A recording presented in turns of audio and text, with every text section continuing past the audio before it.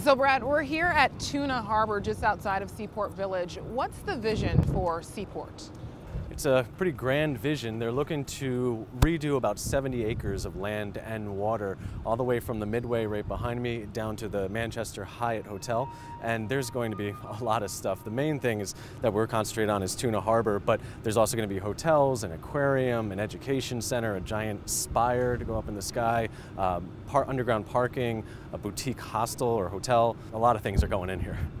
So, with San Diego being a waterfront city, you would think commercial fishing is booming here, but you say it's not. Why is that? Well, it's not just San Diego, it's actually everywhere around the country. The, the commercial fishing industry has kind of taken a hit over the last few decades. There's a lot of reasons why. There's mainly regulatory issues, federal, state, and local, about how these guys can fish, what they can fish, what kind of gear they need to use, and there's a lot of foreign competition. So right now, America actually imports 90% of its seafood. So most of what you eat is not from here. So right now they're, they're surviving, they're doing okay, uh, but could be, according to the fishermen, a lot better and a much bigger presence in San Diego.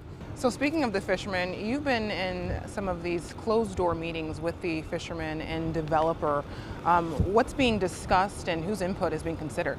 Well, yeah, I've been at these meetings for the last six months. They've, they've been going on for, I think, about a year or, or, actually more. And what the developer is doing is trying to get input from them about what they would like to see this harbor look like.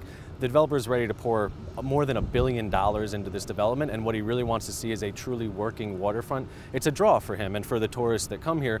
But what the fishermen are trying to do is kind of leverage that opportunity and say, okay, you know, you, you're going to have this big development. We're a part of it. We want to say. And so they've been going back and forth, and to be part of these meetings has been pretty interesting because as they started out, uh, the fishermen are very skeptical. They did not trust this developer, but over the months, they've really, I think, started to come together, work together, and trust each other just a little bit more.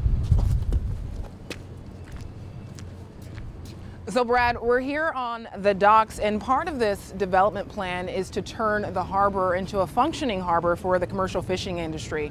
What would that look like? What that looks like is pretty much an all in one spot. So a fisherman yesterday described it really well to me as think of a Home Depot or a Costco where you can get everything you need in one, in one place. So it, they don't just need docks or, or, or, space, they also need supporting industries, whether that's fuel service or someone to drop off ice or processors coming in and out, offloaders, things like that to actually make this a spot where it's all in one shop.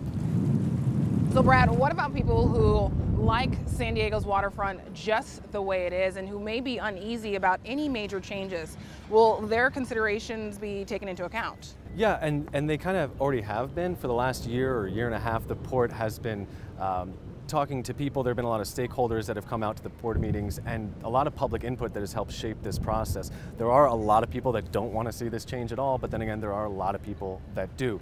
So what I would urge anyone, whatever way they feel about this project, is just to actually show up and have your voice heard. There's a meeting every single month at the port, uh, the Board of Supervisors meeting. It's all online, the agenda is there, so I'd urge people to take part in it. And why should people care about what happens at the port? Well, the port is actually in charge of all of this land. I mean, there's miles and miles of waterfront here and public land, but it actually is all the public's land. We technically own this land, the port just manages it. So anything that happens along the waterfront, you should treat as if it were your backyard.